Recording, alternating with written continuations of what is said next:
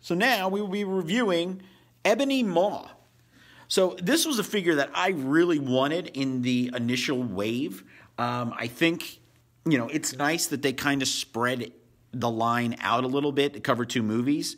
Um, it's interesting that we're getting what I call a lot of filler characters. So if you're a fan of Marvel Comics, to get characters like Nighthawk and Hercules and Living Laser, it's it's awesome.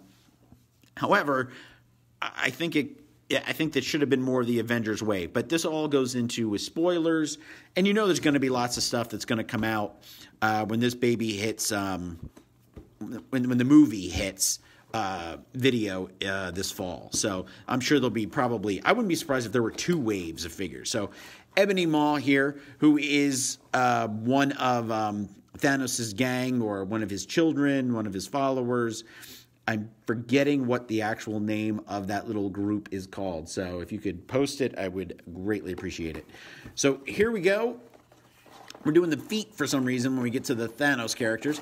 But here we go. Now, this is interesting. He's the villain, and we have an Avengers card behind him. Now, I know it does fall into the Infinity War packaging, but seems a little strange to me, um, especially when you could have probably just put the glove for Thanos. So that would have been interesting an interesting take.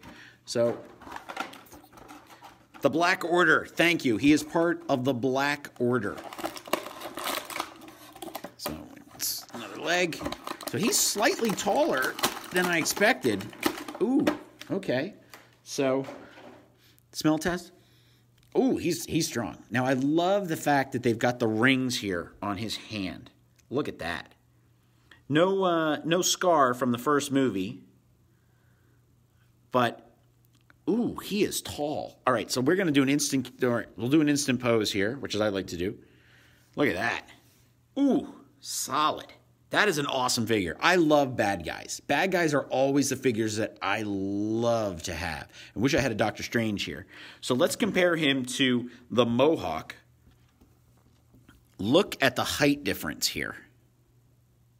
So these figures are basically six inches, but I would give him almost seven and a half, if not seven.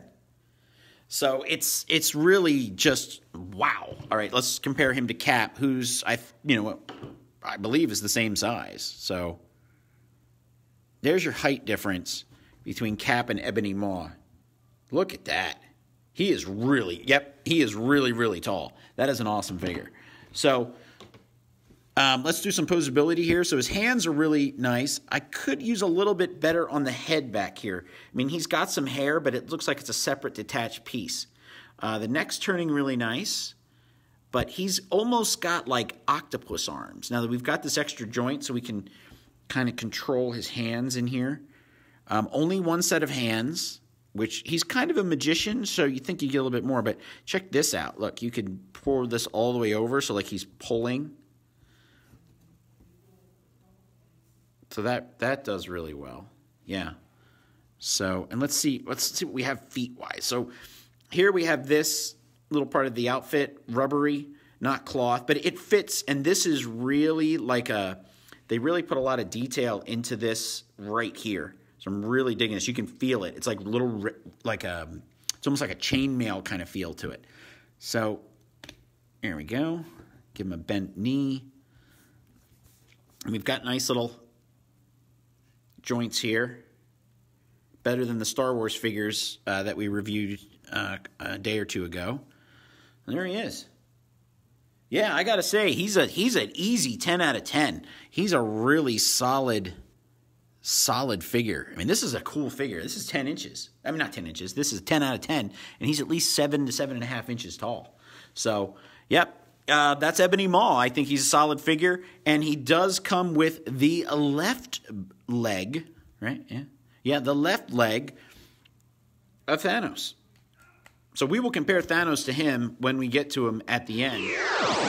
That's an awesome figure. So he's a beast.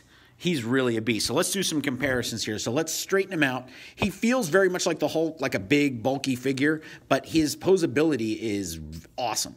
So let's put him here, and let's do a side side comparison to several of the figures that we have here. So Ebony Maw, we thought was the biggest figure in the line. Look at that! Wow, So Thanos uh, eclipses Ebony Maw. So we're talking about almost about a nine inch figure here, eight, eight and a half, eight, nine inches. Um, I believe.